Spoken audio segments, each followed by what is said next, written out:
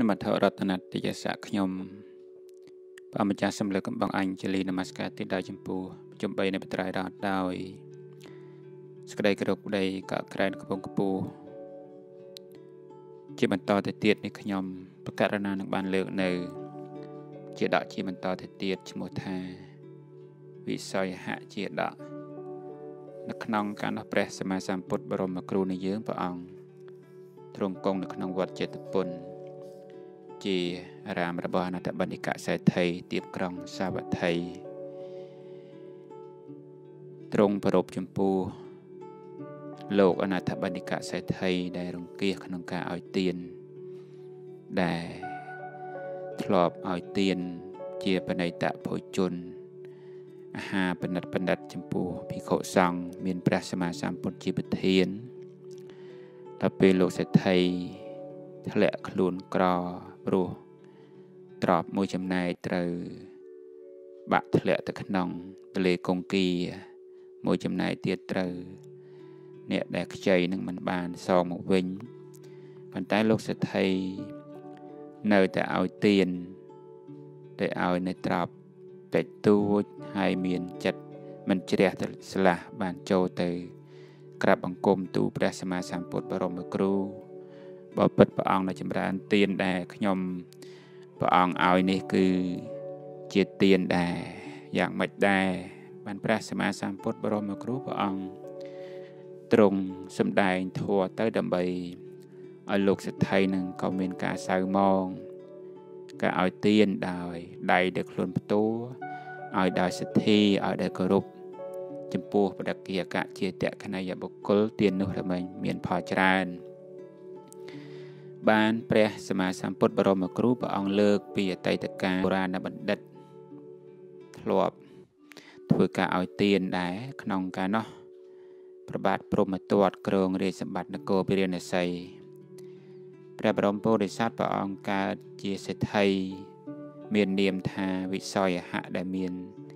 ត្រប់80កោដជាអ្នកប្រកបសិល5ជាប្រកដី មានអធិស្ឋាន ក្នុងការឲ្យទានព្រះបរមពុរិស័ទបានឲ្យគេសាងរោងទាន6កន្លែង ត្រង់កណ្ដាលនគរ4កន្លែងនិងត្រង់កន្លែងដតីដតីទៀតផ្សេងផ្សេងទៅទៀតសម្រាប់បរិច្ចាគទានក្នុងមួយថ្ងៃហ្នឹង6សែនខាបណៈរៀងរាល់ថ្ងៃចឹងទៅព្រះបរមពុរិស័ទក្តីវនិបកៈក្តីយាយចកទាំងឡាយក្តី មានផាត់ដូចដូចគ្នាព្រះបរមពុរិស័ទការធ្វើទាននោះឯងបានធ្វើឲ្យចម្ពូទ្វីបទាំងមូលមានការគម្រើកញាប់ញួរដែលទានដែលព្រះបរមពុរិស័ទបានធ្វើទៅក្រៃលែងក្នុងកណសកៈទេវរាជជាធំក្នុងឋានតាវតឹង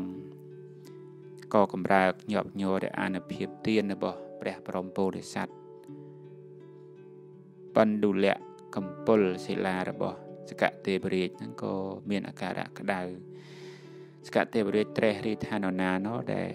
ប្រាថ្នាឲ្យអញឃ្លាតចាក់ទីដូច្នេះទើបពិចារណាទៅឃើញ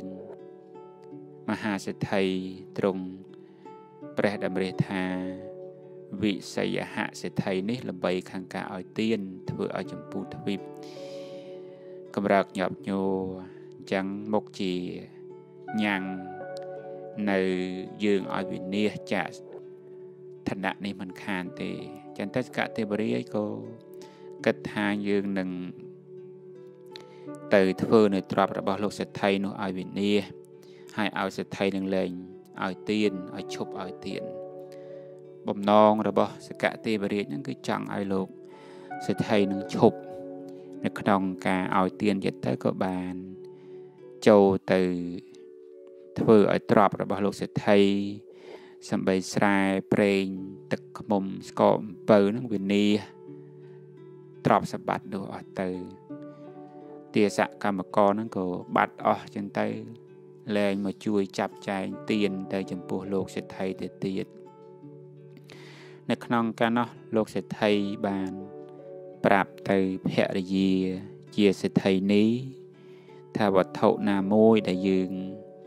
គួរឲ្យទៀនគួរចាប់ចែងឲ្យទៀនទៅនាងចូលទំនប់បំរុងទាំងភរិយារបស់លោកសេដ្ឋីក៏បានចូលទៅក្នុងផ្ទះរកមើលទ្របហ្នឹង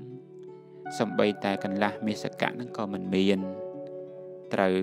វិនិច្ឆ័យបាត់បង់អស់ក្រៅពីសម្ពុតសាដកដែលយើងស្លៀកដណ្ដប់ហ្នឹងក្នុងផ្ទះយើងទាំងមូលហ្នឹងសូនចាក់ទ្រព្យសម្បត្តិអស់ សេដ្ឋីឲ្យគេបើកទ្វារបន្ទប់ដែលដាក់រតនៈ7ប្រការ ពេលដែលបើកទ្វារបន្ទប់ហ្នឹងក៏នៅតែមិនឃើញទៅទៀតទាសកម្មកររបស់លោកសេដ្ឋីហ្នឹងក៏ប្រាប់ថាបបិទ្ធលោកសេដ្ឋីទ្រព្យសម្បត្តិរបស់លោកនឹងត្រូវបាត់បង់វិនាសហាន់ហោចអស់ទៅហើយ នៅក្នុងការនោះលោកសេដ្ឋីបាន ប្រាប់ទៅភរិយាថាសំបីយើងមិនមានទ្រព្យអីយ៉ាងណារបស់ណាដែលយើងអាចឲ្យជាទៀនបានគប្បីឲ្យជាទៀនជាប្រចាំកំបីកាត់ដំណរនៃការឲ្យទៀនដែលជាវងរបស់អ្នកប្រាជ្ញបណ្ឌិតទាំងឡាយដែលយើងបានធ្វើឲ្យមកនេះចូលនាងចាត់ចែងនៅវត្ថុដែលគួរឲ្យនឹងផ្សេងផ្សេងចឹងទៅ ក្នុងការនោះភរិយារបស់លោកសេដ្ឋីបាន ចូលទៅរកមើលទ្របក្នុងផ្ទះលោកសេដ្ឋីអត់មានទ្របអីទៀតទេត្រូវវិនិច្ឆ័យបាត់បង់អស់ចឹងទៅខណៈនោះឯងអ្នករែកស្មៅបានបោះនៅសំរែកកដៀវចោលត្រង់ចន្លោះផ្លូវនៃផ្ទះលោកសេដ្ឋីភរិយារបស់លោកសេដ្ឋីទៅរកមើលទៅឃើញតែកណ្ដៀវនិងរែកនឹង យកមកប្រាប់លោកសេដ្ឋីថាបបិទ្ធអ្នកជាស្វាមីទ្របនៅក្នុងផ្ទះរបស់យើងខ្ញុំ ស្វែងរកអស់ហើយអត់មានទេ ត្រូវវិនិច្ឆ័យបាត់បង់អស់ឃើញនៅសល់តែសម្រែកនិងកណ្ដៀវនោះ នៅពេលដែលព្រះបរមពោធិសត្វបានឃើញសង្រែកនិងកណ្ដៀវនឹងក៏គិតថាមិនអីទេ កាលពីមុនខ្ញុំក៏ធ្លាប់ច្រូតស្មៅខ្លះដែរ ខ្ញុំនឹងច្រូតស្មៅលក់ដើម្បីបានចំណែកនៃការឲ្យទានខ្លះនិងបានបរិភោគសម្រាប់យើងទាំងពីរអ្នកខ្លះមហាសេដ្ឋីពីរអ្នកប្តីប្រពន្ធនឹងទៅច្រូតស្មៅច្រូតស្មៅចឹងទៅក៏យកចំណែកស្មៅនឹងចែកជាពីរចំណែកមួយចំណែកលក់សម្រាប់ដាក់ប្រគៀនទៅពពួកស្មោមយាចក បដកិហកៈទាំងឡាយមួយចំណែកទៀតទុកសម្រាប់ខ្លួនប៉ុន្តែដោយសារស្មោមយាចកដែលជាបដកិហកៈនឹងច្រើនលោកសេដ្ឋីបានថ្វាយទៀននឹងអស់អស់អំពីខ្លួនអត់មានបានបរិភោគរហូតទៅដល់ថ្ងៃទី7លោកសេដ្ឋីនិងភរិយានឹងអត់បានបរិភោគទេ ការដែលកំពុងរែកស្មៅទៅអត់ត្រំនឹងកម្ដៅថ្ងៃ ហើយខ្លួនអត់អាហារ7ថ្ងៃហើយសុខភាព បានទ្រុឌទ្រោមធ្វើឲ្យលោកសេដ្ឋីនឹងដួលទៅនៅដី ទាំងភ្នែកស្រវាំងនៅក្នុងការនោះសកទេវរាជបានប្រថាប់ឈរក្នុងឯកអាកាសពោទៅលោកសេដ្ឋីណែវិស័យហសេដ្ឋីក្នុងការមុន អ្នកបានឲ្យទៀនទាំងឡាយហើយការណាចេះតែឲ្យសភាវៈទាំងអស់នៃភោគៈទាំងឡាយរបស់អ្នកដែលកើតមាន ក្នុងការខាងមុខអំពីនេះទៅមិនឲ្យទៀនភោគៈទាំងនោះនឹងវិនាសទៅមិនខាន នៅក្នុងការនសកៈទេវរាជបានប្រថាប់ឈរក្នុងឯកដោអាកាសពោទៅកាន់លោកសេដ្ឋីថាណែ វិសយហសេដ្ឋីក្នុងការមុនអ្នកដែលធ្លាប់ឲ្យទៀនទាំងឡាយការចេះតែឲ្យទៅភោគៈសម្បត្តិទាំងឡាយនឹងរមែងវិនាសរមែងបាត់បង់ទៅ អ្នកចូលឈប់ខ្វល់ខ្វាយក្នុងការឲ្យទានទៀតទៅ ហាមព្រះបរមពុរិស័ទថាការឲ្យទានហ្នឹងគឺ រមែងមិនឃើញផលអីច្រើនទេ តែងតែវិនិច្ឆ័យទ្រព្យសម្បត្តិទៅអស់ទៅចឹងហើយលោកសទ្ធិឈប់ស្រឡាញ់ពេញចិត្តក្នុងការឲ្យទានទៀតទៅណាពេញចិត្តក្នុងការបរិភោគនៅទ្រព្យសម្បត្តិជាកាមគុណដែលជាទ្រព្យសម្បត្តិរបស់លោកសេដ្ឋីចឹងទៅព្រះបរមពុរិស័ទបានស្ដាប់ព្រះតម្រារបស់សកទេវរាជហើយក៏ពោលតបទៅវិញពោលតបទៅសកទេវរាជទៅវិញថា ធម្មតាសកទេវរាជជាអ្នកឲ្យទានសមាទានសិលធ្វើនៅឧបោសថកម្មបំពេញវត្តបត់7ប្រការទើបបានដល់ភាពជាសកទេវរាជប៉ុន្តែព្រះអង្គហាមការឲ្យទាន ដែលជាហេតុបានភាពជាធំព្រះអង្គខ្លួនឯងទ្រង់ធ្វើចរិយាវត្តដែលមិនមែនជារបស់អរិយជនឲ្យវិន័យ ព្រះបរមពុរិស័ទបានពោលទៅនឹងសកទេវរាជណាថាធម្មតាសកទេវរាជពោលទៅសារការឲ្យទាន ការរក្សាសិលការបំពេញនៅឧបោសថកម្មអីជាដើមនេះបំពេញនៅវត្តបត់ដែលកើតជាអិនហ្នឹងត្រូវបំពេញធម៌7ហ្នឹងចុះហេតុអីក៏សកទេវរាជព្រះអង្គបែរជាមហាមកពោរារាំងការឲ្យទានទៅវិញ ព្រះព្រមពោធិសត្វពោថាណែសហសនេតទៅសកទេវរាជព្រះអរិយទាំងឡាយបានពោថាអំពើដ៏លេមួកអរិយជនសំបីជាអ្នកកំសត់ក៏មិនគប្បីធ្វើដែរណែជានិន្ទៈ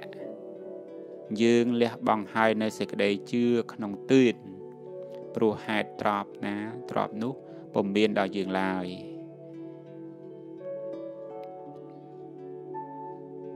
ព្រះបរមពោធិសត្វបានពោលទៅទៀតទៅចំពោះសកទេវរាជនឹង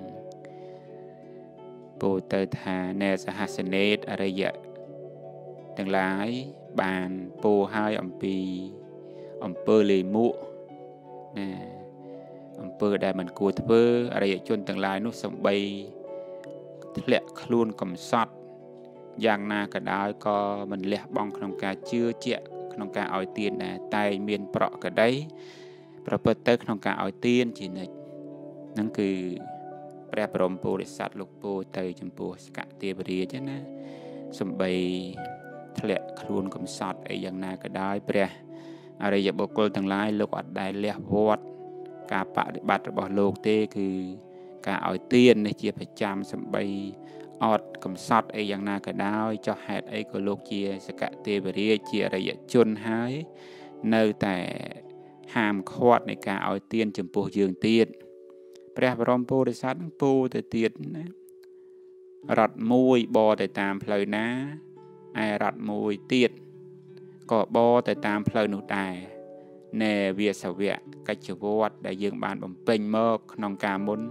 ចូលប្រព្រឹត្តទៅចោះព្រះបរមពុរិស័ទបានពូល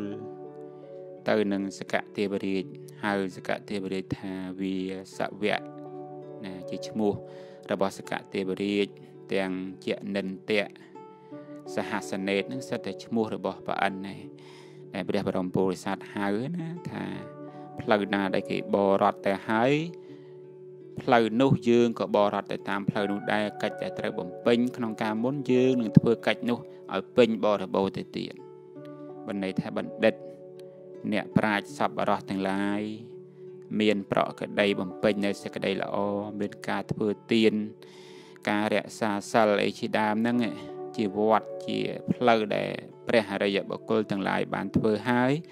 យើងទាំងឡាយនឹងដើរទៅតាមស្នាមយុគលបាទប្រព្រឹត្តនៅវត្តនោះមិនលះបង់នៅវត្តនោះឡើយព្រះបរមពុរិស័ទបាន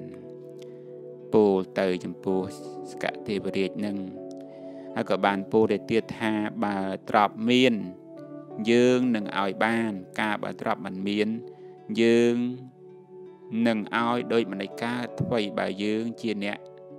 ច្រូតស្មៅលក់យើងនឹងឲ្យទៀនយើងមិនប្រហែសក្នុងការឲ្យទានឡើយនៅក្នុងពាក្យរបស់ព្រះបរមពោធិសត្វនេះគឺពោលទៅចំពោះសកទេវរាជនឹងថាសំបី ការដែលយើងនៅមានទ្រពក៏នៅតែឲ្យទៀនអត់មានរុញរីអត់មានរើសចំពោះបុគ្គលណាសំបីយើងគ្មានទ្រពក៏យើងនៅតែឲ្យទៀនឥឡូវយើងធ្លាក់ខ្លួនច្រូតស្មៅលក់ក៏យើងនៅតែឲ្យទានយើងមិនប្រមាថក្នុងការឲ្យទានឡើយដែលព្រះបរមពុរិស័ទលោកពូលអំពីព្រះអរិយជន ដែលជាអ្នកប្រាជ្ញដែលជាបណ្ឌិត លោកសុកចិត្តលះបង់នៅរបស់ដែលខ្លួនមានសំបីរបស់ដែលຕົកសម្រាប់បរិភោគខ្លួនឯងក៏ដោយព្រះអរិយបុគ្គលទាំងឡាយនោះតែងពេញចិត្តក្នុងការឲ្យទានជាមុនសូមបរិភោគរបស់នឹងជាខាងក្រោយណាជាអ្នកមានសទ្ធាជាអ្នកបានបំពេញសក្តីល្អហើយសំបីជួបនៅ ការលំបាកអីយ៉ាងណាក៏ដោយក៏នៅតែប្រព្រឹត្តទៅ